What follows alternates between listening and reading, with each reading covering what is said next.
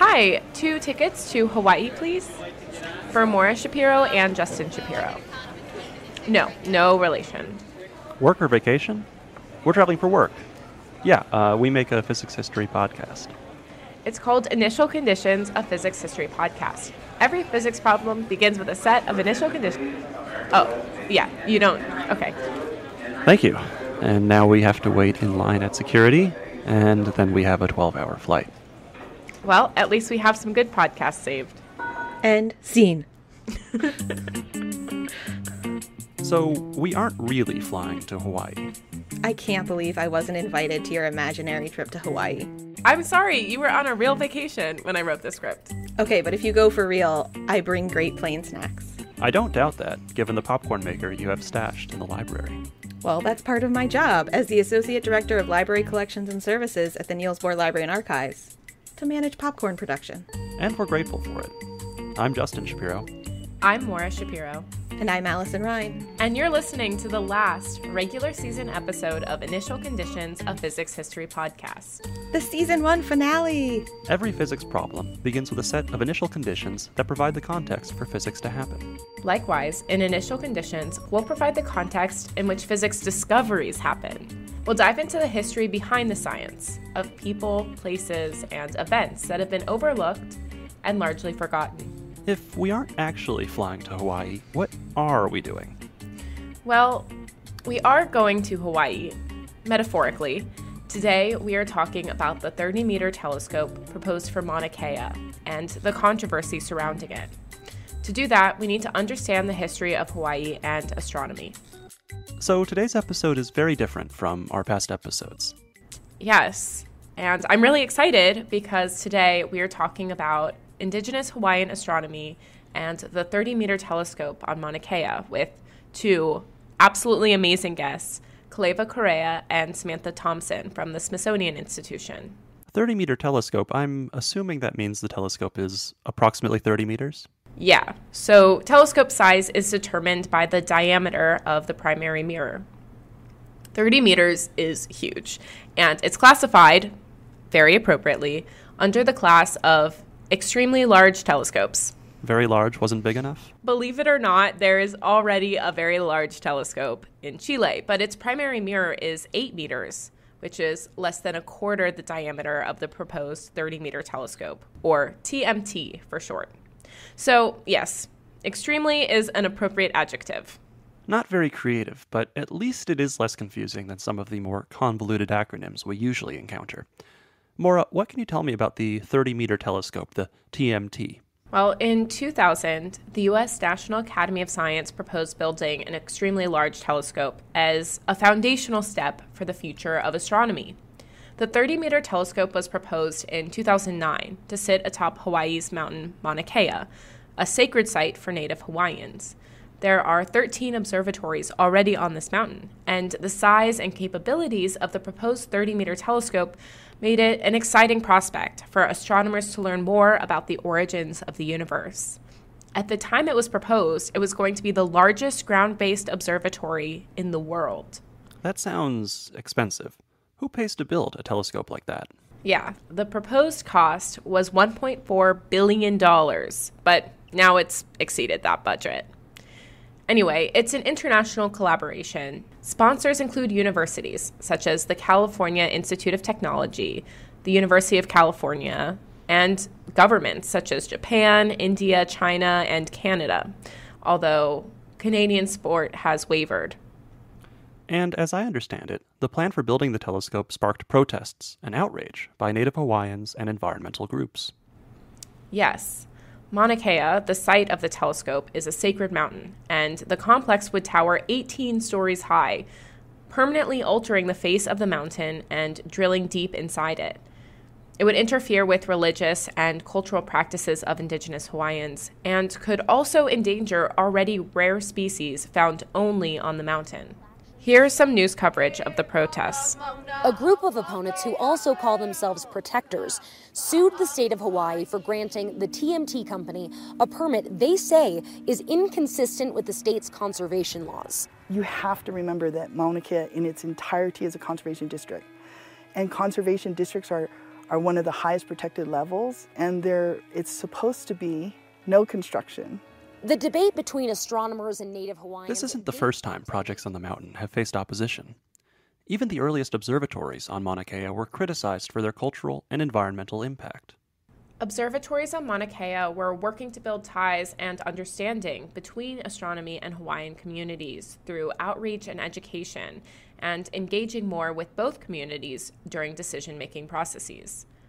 Imiloa is a museum sponsored by the University of Hawaii Hilo, dedicated to educating visitors. Quote, Imiloa links early Polynesian navigation history and knowledge of the night skies and today's renaissance of Hawaiian culture and wayfinding with parallel growth of astronomy and scientific developments on Hawaii Island. But despite these efforts, the 30 meter telescope was met with resistance. The 30 meter telescope broke ground in 2014, and immediately protectors of the mountain assembled to halt construction, blocking the roads needed to reach the site. The protectors also created a refuge for learning, discussions, and assembly. Celebrities, such as Jason Momoa, even took part in defending the mountain.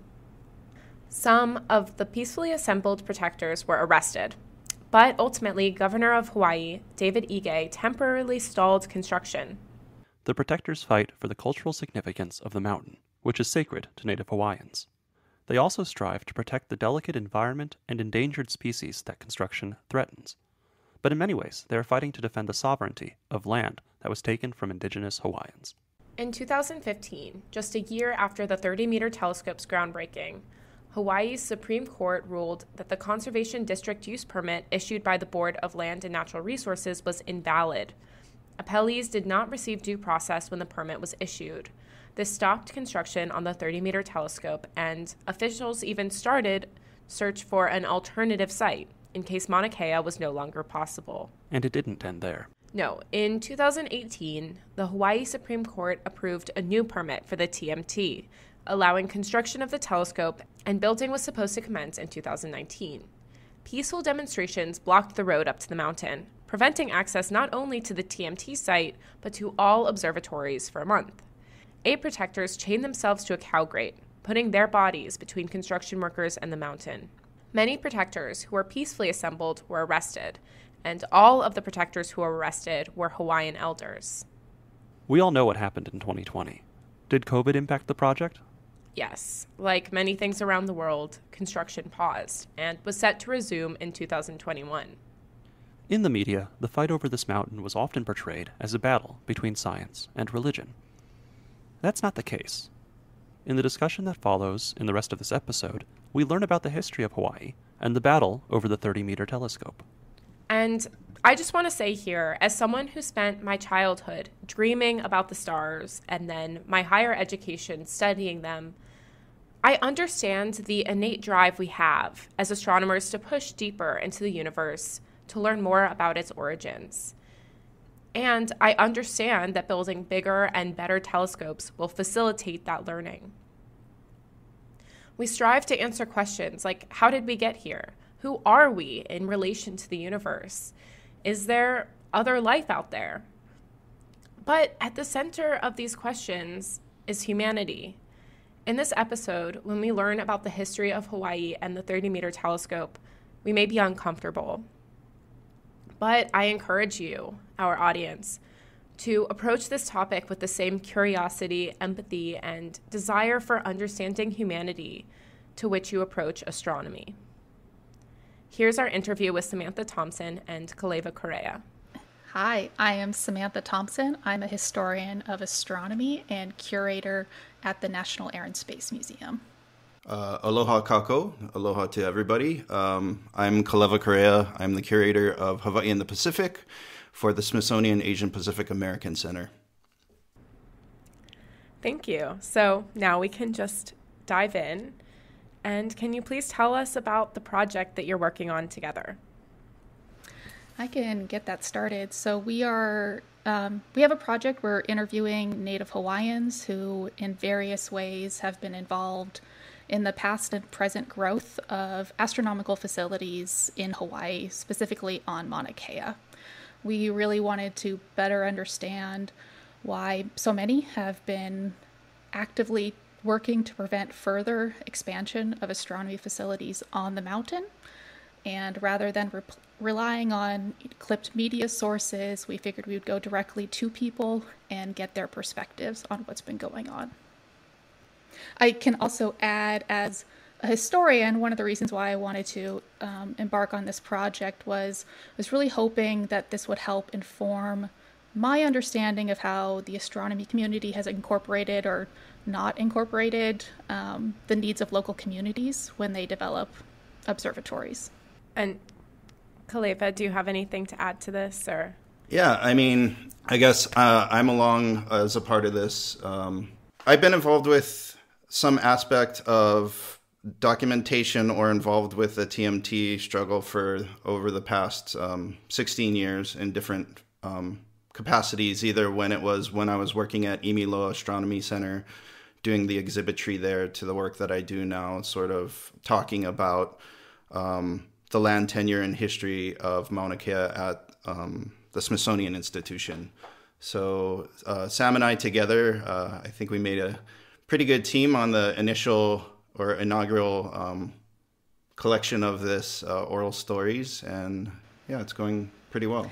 Yeah, it's for the history of astronomy side. I think there's this real push to understand kind of the cultural and social impacts of science as a whole, and this story has been in the news very, you know, very big ways recently.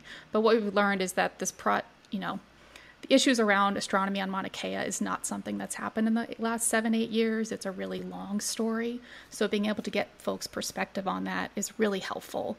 And we do a lot of oral histories to kind of capture people's, you know, their own perspectives, and you take that into consideration when you're thinking about what people are saying. But we don't have the same types of you know historic data that we get from the astronomer side of things where there's grant applications and there's scientific papers published. So we really wanted to find a way to be able to tell the story of, of that community.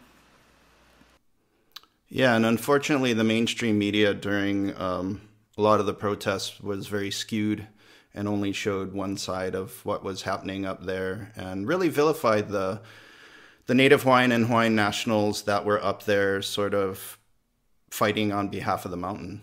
So I think what the work that we're doing through NASM and the Asian Pacific American Center um, at the Smithsonian is try to give a fair and balanced overview of what is actually happening as opposed to what you read in the newspaper or see on, on TV or um, what you read generally on social media, which is vilifying the, the native peoples of of these islands.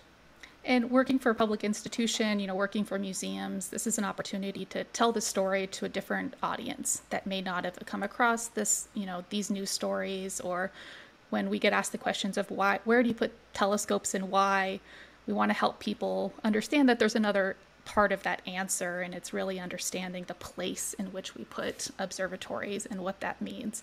And i really think there's no better way to do that than through the voices of the people who are directly impacted whether from the local community or the astronomy community side. Thank you so much. Um, i think it's really important that we have this balanced understanding of the history and the history of the place. So that takes us to our next question, which is about the history of Hawaii. Our audience might know that Hawaii became the 50th state of the United States in 1959, but the history is a little bit more complicated than that. The history is very complicated. Uh, did Hawaii become a state in 1959? So it's it's plausible that it could be a state in 1959. However, in order for one nation to annex another nation, you need a treaty of annexation. So in 1843, Hawaii was recognized as the first non European uh, independent state in the world by what is the family of nations?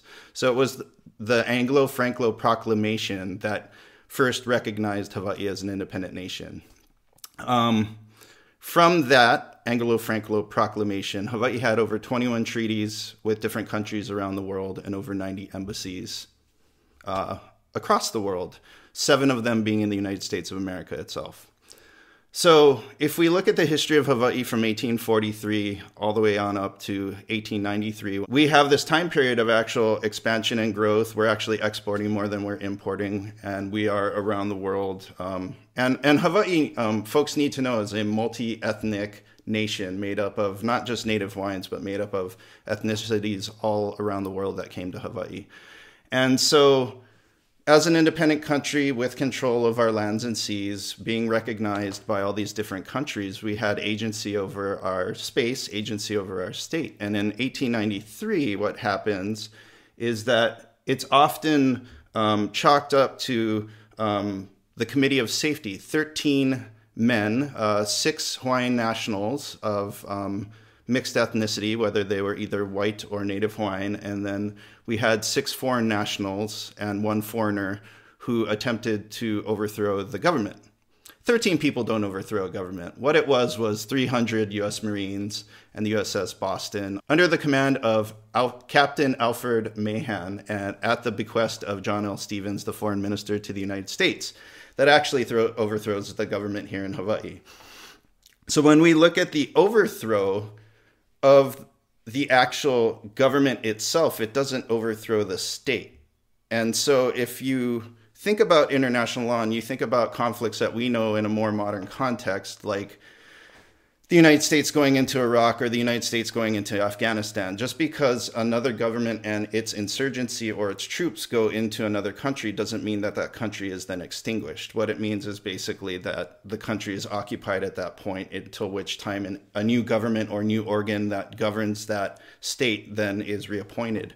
So when we look at Hawaii and we look at its past, in 1893 it's overthrown by 13 people even though we had a um, actual force of 600 locally that um, was made up of our National Guard, the Hawaiian Kingdom National Guard could have basically taken out these 13 people. And so ultimately, it is on the back of the United States, um, which was done in the 1992 Clinton ap- apologies um, to the people of Hawaii. But he apologized actually to indigenous Hawaiians he didn't apologize to Hawaiian nationals. So when we talk about like what happened here in Hawaii, it wasn't just the overthrowing of native peoples, it was the overthrowing of a government and state, which until this day still exists as an occupied territory. We became a state because of a supposed annexation, a treaty of annexation which doesn't exist. What actually happened was it's called the Newlands Resolution. So it's US domestic law that basically made Hawaii the 50th state. So US domestic law has no bearing beyond its borders. So if Hawaii is an independent state and the US is an independent state, the US can pass laws saying everybody in Mexico are going to wear hats on Friday. Everyone in Mexico could say, okay, that's great, but we're not going to do it because we're not a part of your country. There are things that are passed domestically that definitely affect other countries, like drones and um, military incursions and stuff like that. But as far as domestic law goes, domestic law affects the states within your borders or affects domestically what's happening, not externally. So the United States has held the lands of Hawaii from 1898 and then it transferred it to the state of Hawaii in 1959. 1959 is a definitely a key year to think about. And the reason for this is the Decolonization Act happens in 1960. So the US knows that by 1959, they're either going to need to deoccupy Hawaii or they're going to need to give it back to the rightful government that existed prior. Um, when we look at how the state of Hawaii actually gets its lands, it gets it from the United States, which is stolen from the Kingdom of Hawaii. So when we're talking about Mauna Kea, what we're doing is generally when I talk about it, I talk about it from the land tenure side. I, I oftentimes will leave out the significance of the spirituality to my culture that I belong to and am a part of, but I like to focus just on who actually has the right to build on Mauna Kea and how do they have the right to build on Mauna Kea. Uh, one of the reasons that the United States needed Hawaii was all the ships at the time were coal ships. And so we were a coaling station in the middle of the Pacific. It was as early as 1840 under the US XX expedition under Lieutenant Charles Wilkes that he starts to Charles Lieutenant Charles Wilkes starts to talk about Pearl Harbor or Pearl River being the best spot in all of the Pacific in order to have a harbor. What happens though is Hawaii as an independent nation in 1851, which is then ratified in 1854, becomes a neutral country. So the new so as a neutral country, no one can actually launch war from our, our shores or use our land in order to wage war. And so, with the growing expansion of the Spanish in the Pacific and the different countries that are going throughout the Pacific claiming these different areas and zones, what we see is we see the United States has this real keen interest on making Hawaii its space to recall and to basically use it as a strategic point. But the problem is, is that 1854 um, Proclamation of Neutrality basically says you can coal here, but you can't wage war from our shores. So after the overthrow in 1898, it's proposed to Congress by, again, Captain Alfred T. Mahan that we need to, the United States here, quote unquote, we need to take Hawaii for its strategic location because the, the, the coming Spanish American War that's going to happen. And so ultimately, Hawaii is a part of the United States as a strategic point, even though it was illegally done. And even though there's no treaty of annexation that exists that can prove that Hawaii is a part of the United States because of the Newlands Resolution and domestic law, Hawaii is still a strategic point today for the US. A lot of people like to say, well, in 1959, the people of Hawaii voted to become a state. Well, interestingly enough, the population of another country can't actually vote to annex out and become a part of another country. So if you think about it today, think about what has happened in Crimea. In Crimea, basically, folks that were Russian of nationality voted to become a part of Russia, even though Crimea is a part of Ukraine. So here's an example. So from 1890 to 1956, Hawaii's population grew over 1,200% so from 1890 to, to 1956, 1200%. The 1200% growth rate from 48,000 to over 622,000 people were American citizens. So if you take an entire population and you move it into a space and then say, well, we're all voting for this place to become a state, that's problematic, especially under international law, that's problematic. So that itself is the true um, nature of colonization is to move a population of yours into another space to then dominate. But Hawaii is under pseudo colonization. We're actually under military occupation right now. So if you look at international law, we are still under that freeze point in 1893 when the United States Marines landed and helped to overthrow the, the Hawaiian Kingdom government. So that point in time was frozen under international law. And that's where we are today.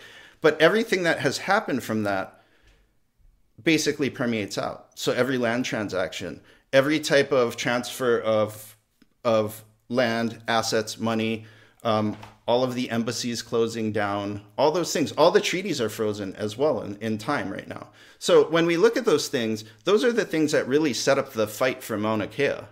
And a lot of people don't realize it goes back that far, or it doesn't, they don't realize that it's beyond just this idea of there is the spiritual component which is at the base of it. But there's the other component which is the land tenure of how the university of hawaii gets the land itself at mauna kea and how the observatories even got a right to build there. Thank you. That's really helpful context. I think the listeners are going to benefit from that. Um, of course these disputes um, over land use are, are deeply embedded in these much longer colonial histories. Um, and so it's important to um, give an overview and a, and a good history of those struggles. Um, but turning now to building on Mauna Kea, um, I, I, have a sort of a two-part question. Um, but and the first part of it is so we know that many modern observatories are situated on Mauna Kea, on Hawaii's Big Island. Um, why? What are the qualities of that location in particular that make it so ideal for astronomy? So there are a few things astronomers look for when deciding where to build a telescope. The first one is you want dark skies. So you want you're trying to gather very dim light from far away in the universe. You don't want bright lights from cities interfering in that at all. We used to have observatories right next to cities. There's, you know, Harvard Observatory right outside Boston, Mount Wilson Observatory outside Los Angeles. But once you start getting electric lights in big cities, those observatories really can't um, overcome that light. So you want to get away from light as much as possible. The other next aspect is you want to get as high into the atmosphere as possible. So, astronomers are gathering light that's traveling through a lot of Earth's atmosphere, and our atmosphere changes in temperature, it changes in humidity levels, and as light comes through it, it actually distorts the light. So that's why stars look like they twinkle, is because they're kind of getting distorted on their way through the atmosphere. So the higher we can get, the less we have to deal with that. Um, there's also certain types of light that don't penetrate the atmosphere either at all or very well.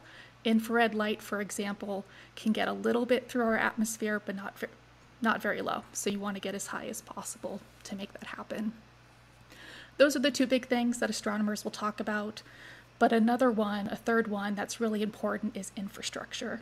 So you need, when you're building things that are in really dark places, that are really high up, you need to be able to get there and then you kind of need to live while you're up there as well. So, roads, electricity, um, housing, bathrooms, all of those things, which is typically why you see once you have a telescope built on a mountain site, you tend to build more in those places. There's already a road up, if there's already electricity running, that's things you don't have to pay for again. Um, so Mauna Kea is, you know, sits at 14,000 feet. It's extremely high the humidity levels are very low. Um, when Gerard Kuiper was trying to find a place to build an infrared telescope, he went to Chile and did site testing there. He came to Hawaii. He went to Haleakala first. Um, and the humidity can be a little iffy there because you have different types of clouds moving in.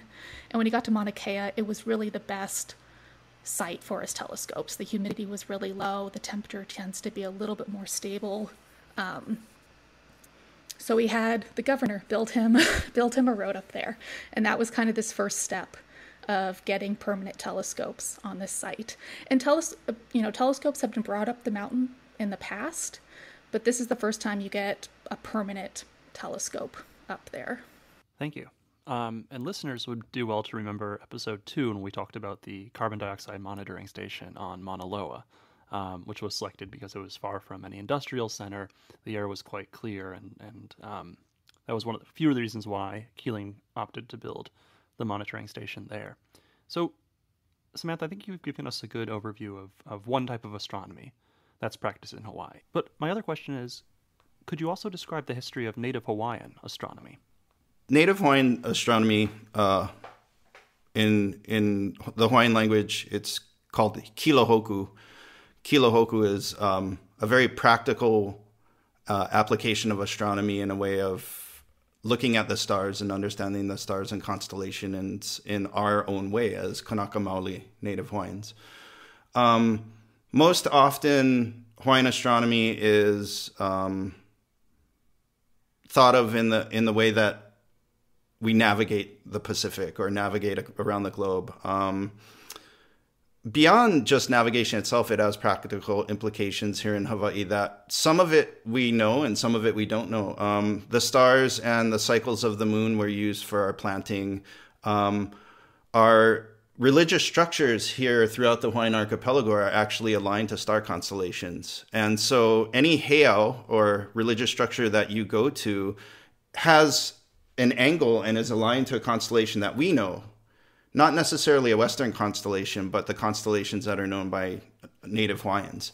And so a lot of that knowledge, as far as the triangulation or the alignment to constellations, has been lost um, uh, due to um, we had mass. Um, mass die-off uh, in 18 between the time that Cook's men came in 1790 through 1840. We lost nearly uh, 98% of our population. Um, so a lot of that cultural knowledge had been lost over time. Um, that also, when you have a a society going from a more traditional way of life into a more modern um, way of life, becoming you know the first um, non-European international state, you you also have a tendency of sort of forgetting the old ways uh, in that process. Um, but everything from from fishing to understanding spawning to planting to uh, religious structures, we're tied to the skies, and so.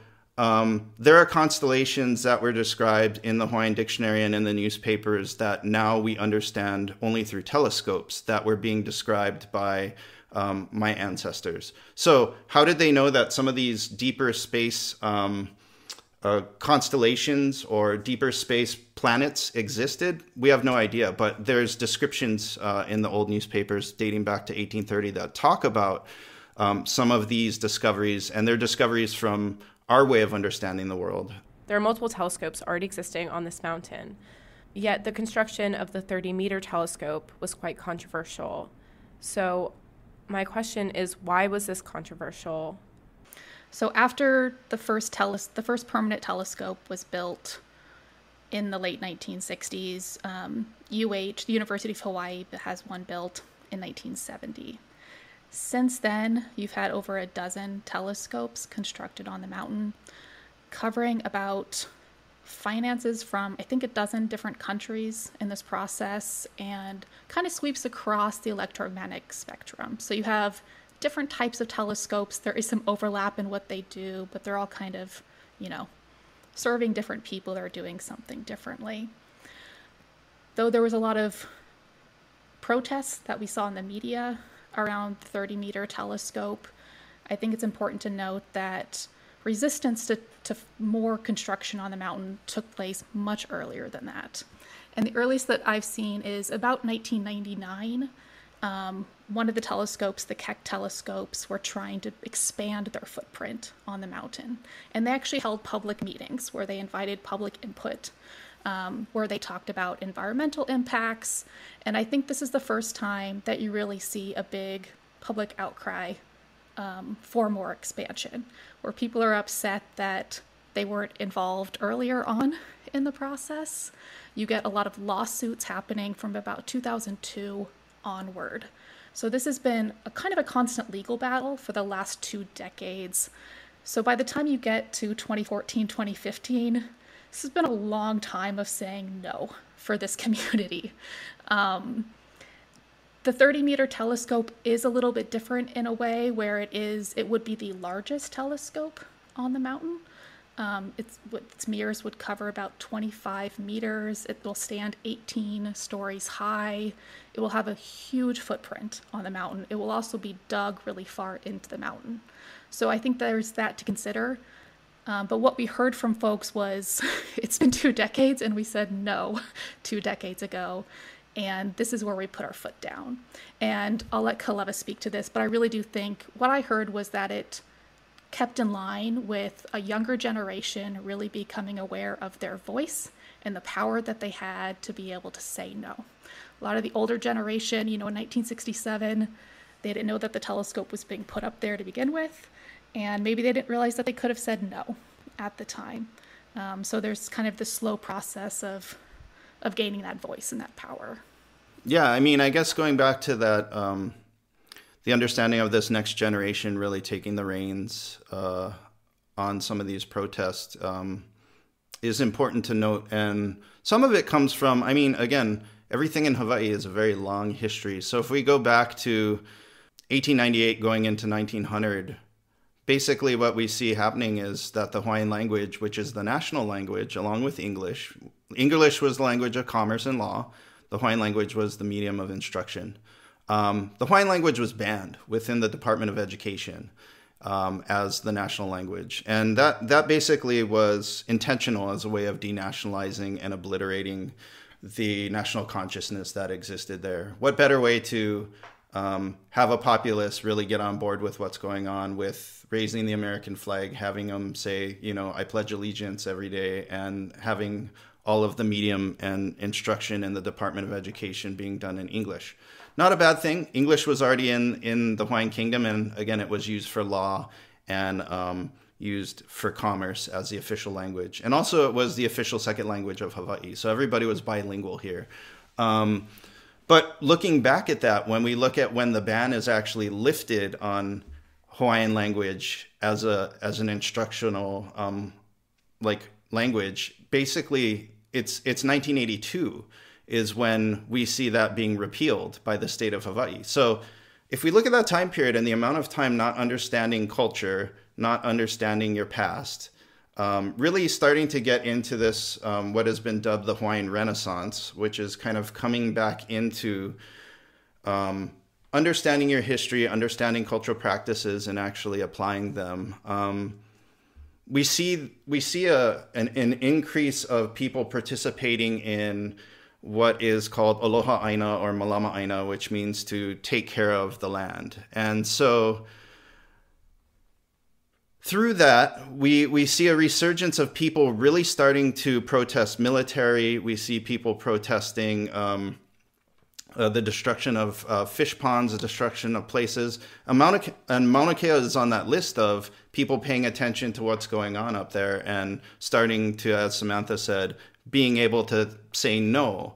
Um, we're a very polite society here for the most part. And so oftentimes, because everybody is related in a way or you're, you're accountable to your neighbors even if they're people that have recently come because it's such a small space you try not to make waves um, so i think traditionally um, at least over the last 128 uh, years we've we've been pretty accommodating um, to changes going on here in hawaii as the as the native population but as more and more gets built out as more and more land gets either um, turned into commercial or um, basically destroyed. Um, military bombs here um, on a weekly basis, right next to Mauna Kea and Pohakuloa, which is um, right at the base of Mauna Loa. So you have this resurgence of just paying attention to of someone that needs to speak for the land itself and to say no. And so as Samantha was mentioning, there have been protests for a while about observatories, but the magnitude of what happened with the TMT, at least in this most recent, um, what we saw from the Kia'i and the and the protesters, protesters, we call them protectors. Um, what we saw is is is the greater Native Hawaiian population and Hawaiian citizens that are not Native Hawaiian standing up for the mountain because it can't speak for itself. And we already have 13 observatories up there at the moment. And why can't you use what you already have up there? Also, with space telescopes happening, why is another ground based telescope necessary, especially when it's not welcomed here? Um, I'm also going to speak to something that is often not mentioned in this debate over Mauna Kea, which is the inclusivity of the astronomical um, world to Native Hawaiians. It is not a world that we are welcomed into. Um, it is not a world that you have hiring from the Native Hawaiian community rather than menial jobs. There are Native Hawaiian astronomers that are around the world trying to get jobs on Mauna Kea that can't come home to actually participate in astronomy in their homeland. And this is intentional, in my opinion, that it has been an exclusive industry. And it is an industry at the end of the day. It is science for the good of humankind. And there's no Hawaiian that will argue the fact of astronomy is a bad thing. They're arguing over this particular project, which has been fraught with all kinds of issues from permitting to public scoping to cultural understanding to even the way that they dealt with people that were protesting against it being constructed the fact that when you have a population that is able to speak out and have their voice heard, and basically you have truckloads of mace being dropped off and threatening a population that is basically kupuna, elderly in our culture, elderly people standing up to have their voice heard, and the and the response is, "We're going to mace you and we're going to jail you," over you asserting your voice over your sacred space, and over actually being the rightful um, beneficiaries of Mauna Kea itself is that population. Um, to have that, I think it's a very narrow minded um, look from a community that's supposed to have a wide view of, of the earth. If we can't even take care of what we have here, why are we looking beyond what we already have? And the fact that we have 13 telescopes up there and we need to push this other telescope without actually fulfilling what was promised to the Native Hawaiian community, I think is very problematic. If there was a lot more inclusivity in the actual running of the telescopes up there, having Native Hawaiians that are astronomers in those observatories, you might see a different perspective. I've spoken to Native Hawaiian astronomy grad students who I know would love to come home and would love to continue working in Hawaii, and the jobs just don't seem to be there right now. So I do think that's, you know, something, an issue that I see talked about. Also, of the 20 odd interviews that we did, so few people talk about the 30 meter telescope as really being an issue. Like, clearly it's the issue, but it comes up so infrequently because it's not really the issue. There's larger things at play here, and it is this idea that it's not, no one came out with, told us that they hate astronomy or that they want no more astronomy but it's how it's being done, where it's being done, whose voices are being included in that decision making process is what arose the most. Um, I mean, I think if we like did by words, you probably end up with like 0.001% amount of conversation that's actually about astronomy or the 30 meter telescope, other than this is too many. And I think, you know, if you ask astronomers, why do you need another one? They will have an answer for you. They will have a very good answer. But it, for the community that we interviewed, it was a that's your answer. How does that answer weigh with what we need? So you kind of have these two conflicting needs and how you where you put that value. That's what I heard as being the real issue is whose needs are being valued more than the other needs and and to add to that, it's it's oftentimes because this has been such a long legal battle, and folks have been voicing their opinions for so many years now. The what we were seeing is how many times do we have to actually assert ourselves and say what it is that we expect from the astronomy community for them to actually listen? But it's still pushing forward. And so I think, you know, from diving now a little bit more into maybe the spiritual side of things, that's what's not being heard. And oftentimes it's spun, at least in the media, that Mauna Kea being sacred is something very new, which it's not. It's, it's not a new thing. If you go back, again, I go back to the old newspapers in the Hawaiian language in order to really understand um, my culture now because of that mass um, depopulation that happened. Um, and so if you look from 1830 all the way up through 1929, Mauna is mentioned over 6,029 times within the Hawaiian language newspapers as, as a site of significance. And so if it's not something that is significant or something that is sacred to the at least the native population, then why was it being written about so much? And also, as a Native person, I think it's within our ability to decide what is important to us as a culture going forward. So it's up to us to decide what is sacred. If we're not allowed to dictate or mandate or or say what is important to us as we go forward as a culture, then our culture is dead at that point. And so no new no new religious sites can be done, no new um, ways of knowing are crafted, and it's because that culture is then stuck in time, and there's only a time period that's considered ancient or sacred or Hawaiian culture. Everything new is now United States Hawaiian culture, and so if we're there and we're at that crossroads right now, I, I have I have real um, I worry for Hawaii because Hawaii is its it's Hawaii is the way that it is, and and has continued for thousands of years as Hawaii, even through um, the current colonization or occupation, whatever you want to call it. because of the people that came here originally and the aloha spirit that exists here.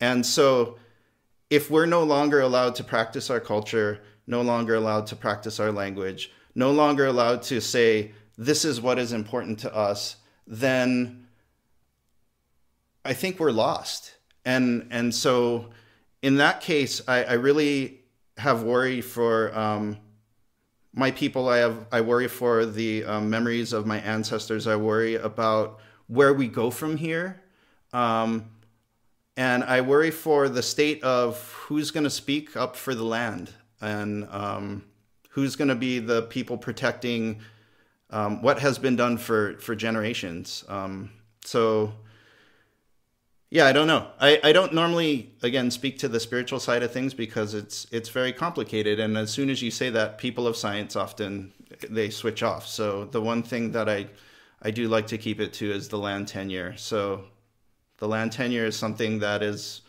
is if if you actually have paperwork to say that you have the ability to build and be up there great. But where did it come from? If i take a honda accord from someone else and i sell it to you but I didn't pay for that Honda Accord, and you own it now, is it still a stolen car? So, I mean, when we look at that and we actually examine how we got to where we are now, I just think it's very problematic. The way I understand it too is Gerard Kuiper in the early 1960s, when he was trying to find a place on Mauna Kea to build his small infrared telescope, he built on a cinder cone that is the second highest point on Mauna Kea. And he says that he specifically didn't build it on the highest point at the summit because he understood that there was a religious or spiritual aspect to it. So that wasn't a new concept to the astronomy community as well. It was kind of there from the beginning. So you mentioned a moment ago your work with the protectors, um, who are fighting not just the 30 meter telescope, but um, a sort of larger, a sort of larger legacy of science and imperialism in Hawaii. Um, are there any stories from the folks that you've talked to on the ground who are engaged um, with this issue that you want to share? Yeah, and and I, I think Samantha will have her own too here. Um, I think probably one of the most significant stories that we heard over and over from the folks that we interviewed was the fact that it was the kupuna that put themselves on the front lines and they were the ones that wanted to be arrested and they knew that this might be one of their last fights um, in their lives and they were willing to um, put their health and their um, bodies in front of um, the youth and the uh, in order to um, stop any type of violence. Um, the protests that happened at the base of Mauna Kea at Pu'uhuluhulu were intentionally nonviolent. Um, and they were intentionally nonviolent because we wanted people to listen um, to what was happening there as opposed to just turning off and, and saying, oh, this is a bunch of radical, violent native people that just want to, you know, are neophytes that basically don't want, don't like science and don't want uh, uh, modernization to happen. That is not the case here. Um, a good portion of the people that are there have their PhDs and are, are doctors of various different disciplines. Um, the kupuna that were there, um, again, they put their, their health and their bodies in such a space that they were taking the front line um, for the original arrests and stuff. And and for me, when I think about it, I think about in the United States, if you saw your grandmas and grandpas fighting for something that was important for them, being dragged away in zip ties and handcuffs, being um, hauled into a van, and and seeing that just for speaking their mind, I, I, would think there would be a you know some significant outrage um, in the United States. But it seems that it's okay to happen in Hawaii, and it's okay for those things to happen to to Native Hawaiian elders. And Additionally, just the kupuna camping up there every single day to ensure that nothing would happen, their voices would be heard, they would be seen. We're, we're talking about people that had healthcare issues that are are in in their 70s going into their 80s being resolute on this is their last stand. And so for me, hearing my generation and the younger generations talk about how important that was um, for them to activate was was was pretty key. But at the same time, you have the Kupuna talking about how the younger generation are really taking the torch and leading in a way um, that they never even could conceive or that they didn't expect. That they said it makes them so proud to see that this next generation they don't have to relearn language. They don't have to relearn culture like they did. What they did is they're they're born with it again. They're born with their language and culture, and they're on the front lines too. And so to see that interplay going back and forth between the Kupuna and the younger generation talking about we're not worthy to inherit what they've done, and the Kupuna saying we're so proud of what you're doing. You're definitely the next the next generation of leaders. Um, for me, that just really hit home as an important part of Hawaiian culture going forward. I think that was one big aspect for me was people talking about the roles of the different generations and what they were responsible for, how they all kind of admired the different generations for doing their part. So that yeah, Kalewa spoke about that really well. The other part, the story that really stuck with me was this campsite, the site that became this how they saw it as this last stand became a place of community and education. They called it a university where you have people living there for a long period of time. You have people feeding each other, teaching each other, um, caring for each other, where it did become a community into itself. And it wasn't folks just hanging out. They were really doing some work while they were there. And to hear those stories was really impressive. Um, kind of what, no, I don't like this term, but like what a protest can look like. Um, I don't know that I've seen that very often. So that was remarkable. The component of a lot of the folks that chained themselves to the grate, the cattle grate, and were arrested, if not all of them, most of them were are professors. They're PhDs in various capacities. And as you know, somebody in that academic field, to see someone take a take a risk with their job and go out knowing that they might be arrested was was very um, felt new for what I've seen in kind of the history of astronomy. Those stories all sound very impactful, um, and I really look forward to listening to them or interacting with them at some point. What I want to talk about next is the the larger context. How does the battle over the 30 meter telescope fit into a larger story of colonization in science and in astronomy? I think there's a lot of research being done lately on the very long history of colonization in science writ large. Um, science tends to be an activity where your your pursuit is discovery, and that often means expansion. That means going into pl- new places, and the impact on the people is often taken to matter less than the scientific discovery that's made. Um, so I think you get in different fields that impact with astronomy because you need a place of which to do astronomy and it's often remote sites. We're getting more there. Um, the US, as you know, continental US, there's a lot of that that happened. You know, it was a long time before states became states where land was still not owned by the US and telescopes were being built at that time as well. So this is not something even that's new in continental US history as well. I think when we talk about colonialization in science, it's important to take into context the history of who and what is being colonized because it looks different everywhere you go. I often feel a little hesitant to kind of make sweeping claims of what that looks like because you know building telescopes in Hawaii is different than building telescopes into South Africa or Chile or Australia. It just it's a different beast in its entirety. Um, but I do see as a result of people kind of focusing on this idea that science can be a colonialist enterprise, is what can contemporary scientists do about that? Um, I think there's what I'm seeing is scientists realizing there's a long way to go, but at least that that thought is even in the mindset now in scientific communities where it wasn't a few decades ago. I'll, speak a little bit to that. Um, science and colonialism or imperialism. I mean, if you go back to the foundations of the United States U.S. Ex. Ex. um, with Lieutenant Charles Wilkes, that was a scientific expedition, but it was done on military ships. And so unfortunately it goes historically it goes hand in hand and it's something that even when lieutenant wilkes landed here on hawaii island in 1840 and decided to walk from hilo harbor up to mauna loa to um, check azimuth and to verify um, if you read his journals even that they read as imperial conquest in the way that he treated the people that he was asking permission to go and use their space. And so when we look at that, um,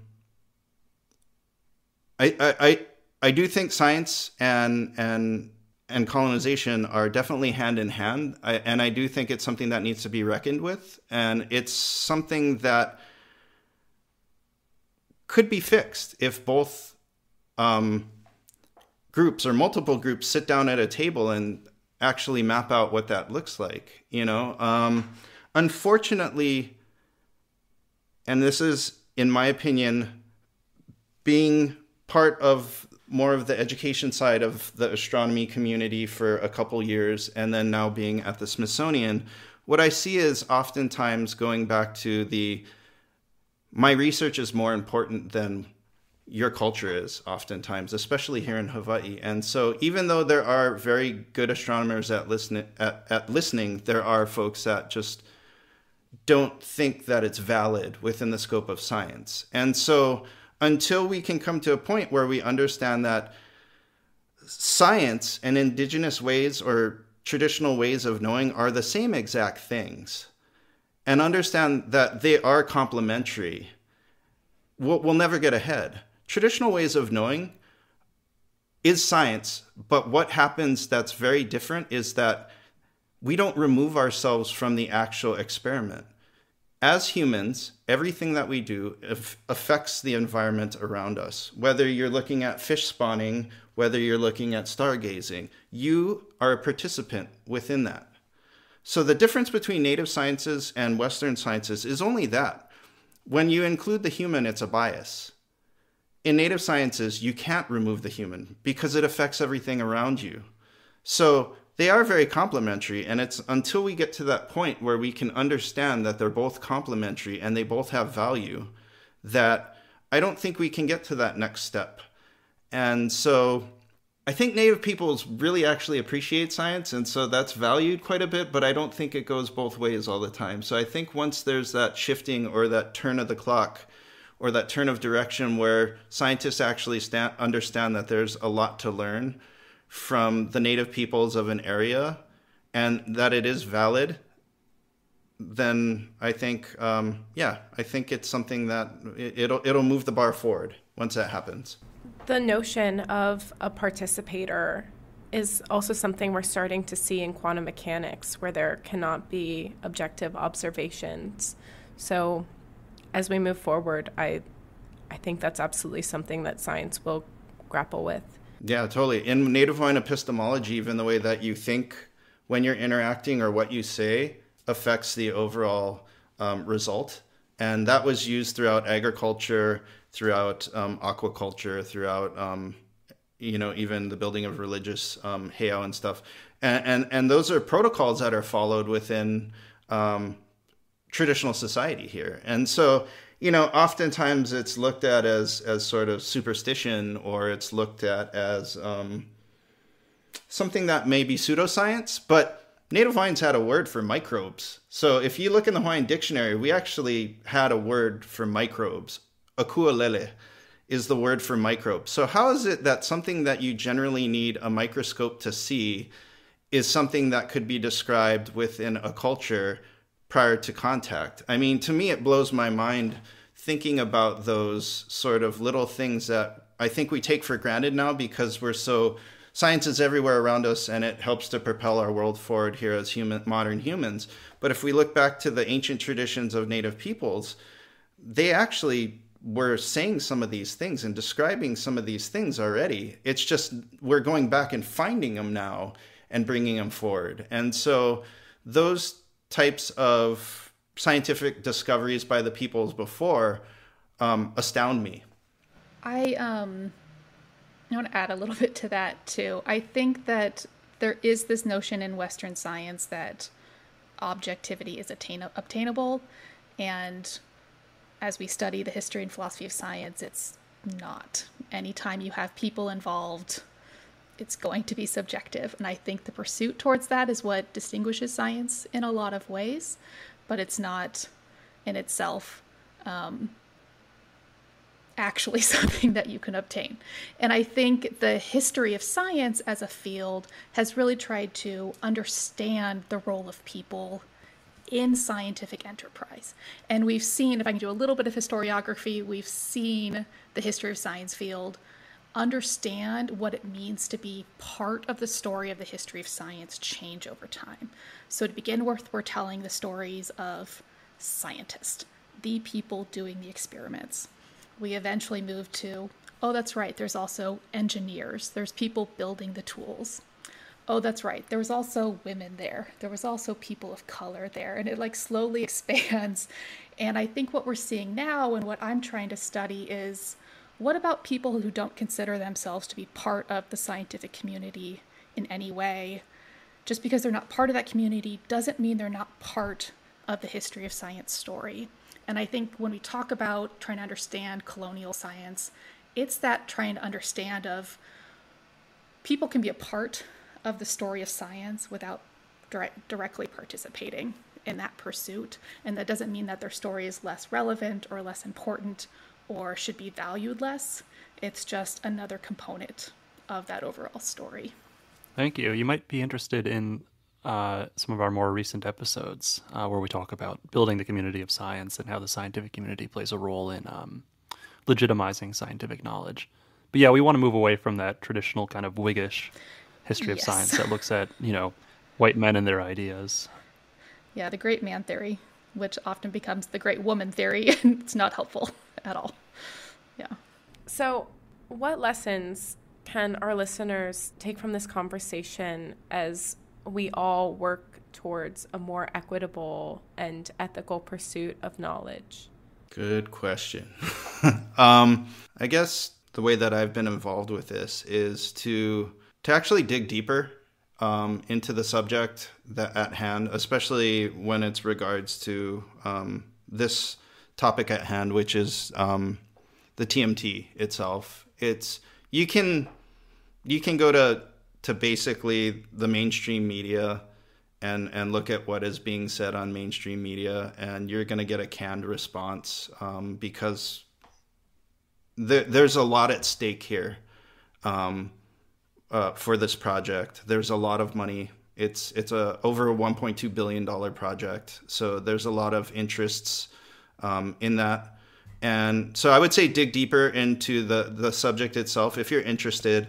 Um, listen to some of the voices, read some of the articles coming out of the opposition, and and and really understand again that this isn't in this case. Um, it's not native peoples against astronomy. It's native peoples against this particular poorly handled project. And it's also um, a case of, um, at this point, having their voices heard in a way that's significant enough to, to actually change things. And so I guess the other thing for me is to understand that, you know, Hawaii is a space for the native peoples that are here, the Kanaka Maoli, Native Hawaiians that have been here for over 2,000 years, that have an ancestral connection to this space, that the bones of our ancestors are buried in this place, that even the hotels that are built upon the sand dunes actually are some of our ancestors are under. And just to understand that there is a host culture here, and it's not just everything that you see on a tourist website about leis, mai tais, and sitting on the beach. There's real people doing real work working very hard just to survive and to not only keep their culture alive, but to practice their spiritual practices and to protect this place for not only um, themselves or their culture, but for everyone that is a visitor here. And um, to understand that if we don't have those people or don't have those voices, that Hawaii as we know it ceases to exist?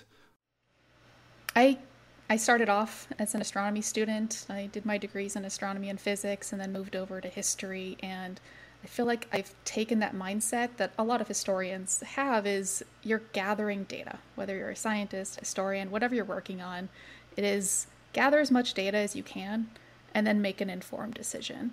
So, embarking on this pro- project for me really was a way to un- try to understand what's happening. And in order to do that, I wanted as much information as possible. And I hope that's what people take away is, you know, I remember what little I learned of Hawaiian history growing up. I remember what little of astronomy history I learned growing up. So to gather as much data as possible, to be better informed, to find a solution forward is, I think, applicable in all cases in this way. Um, I'm not currently a member of the astronomy community. I'm not part of the Hawaiian community. I don't know that I get a say in what happens with the TMT, but trying to better understand and help our visitors and other people understand the full story is is my goal here. Thank you. And I have one final question for both of you. So, for our listeners, where can people find your work and get engaged? I'm going to say TBD. Honestly, um, I don't know how to answer that question right now. So, our goal is eventually the interviews that we've done will be available publicly through the National Air and Space Museum archives. It'll take a while to process those oral histories um, but we do want them available. We hope they're available for journalists, for historians, um, for anyone who would benefit from that information. We would like to use them in our museum to be able to tell the story of or answer the question of where do astronomers build telescopes and why, because this is an important part of that answer. I, I can leave it with Samantha's answer. Um, I mean, we have uh, SmithsonianAPA.org where you can find. Um, many stories, youth driven stories of Native Hawaiian and Pacific Islander youth, uh, recording the stories from their communities on there, whether it's through podcast or film. That's um, the major initiative I do is called Our Stories. Um, so you can find more information about history or language or stuff there. Um, or the greater smithsonianapa.org to learn more about Asian American history and Native Hawaiian and Pacific Island history um, from from my unit of the Smithsonian. Um, but yeah, I'm looking forward to uh, uh, when these interviews come out through Air and Space, and I'm also looking at how we're gonna turn them and remix them into smaller vignettes that are going to inform society. That was Kalewa Correa, curator for the Asian Pacific American Center of the Smithsonian Institution, and Samantha Thompson, curator of the Smithsonian National Air and Space Museum, bringing us the story of the 30 meter telescope. That was really enlightening, and I think it's important to hear from scholars who are working with communities on the ground as they're involved in social and environmental justice movements. But what's happening with the 30 meter telescope now? Despite efforts for the TMT to build on its backup location in the Canary Islands, it is likely moving forward with building on Mauna Kea. The National Science Foundation, a potential funder of the telescope, is conducting an environmental impact study. They held meetings in Hawaii over the summer and just finished accepting public comments. Their statement reads NSF understands the possible construction of an extremely large telescope on Mauna Kea, Hawaii Island, Hawaii is a sensitive issue that requires extensive engagement and understanding of various viewpoints. Though they're not the only sponsor of the telescope, pulling funding could indicate a change in policy. In the next few years, stewardship over the mountain itself will transition from the University of Hawaii to the Mauna Kea Stewardship and Oversight Authority. This episode is only the beginning of the conversation. I highly recommend the podcast Offshore by Hawaii Civil Beat that has incredible coverage of Hawaii, Mauna Kea, and the TMT. In every episode, we provide further readings on our website that help shape our understanding of the topics we cover and that we recommend to listeners as a starting place for deeper research than we can fit within the hour of our podcast. This episode, I highly encourage listeners to check out these readings. And I'm so adamant about this that I've also dedicated this week's blog post to the resources that I recommend the listeners check out. In a past discussion with our guests, Kalewa pointed out something that stuck with me. He said, There is a colonialist idea that space is not occupied if it is occupied by indigenous people. It made me wonder if science is such a space. Often, indigenous ways of knowing are not recognized by Western science. There's an encouraging and growing effort within the scientific community to reimagine a science that respects and values indigenous ways of knowing. You can find links to learn more about that work on our website as well. Special thank you to our guests, Kalewa Correa and Samantha Thompson. And thank you to you, the audience, for listening to Initial Conditions. This is the finale of season one, but stay tuned for a couple of bonus episodes in the future. And a special shout out today to our tour guide and the Associate Director of Library Collections and Services at the Niels Bohr Library and Archives, Allison Rein.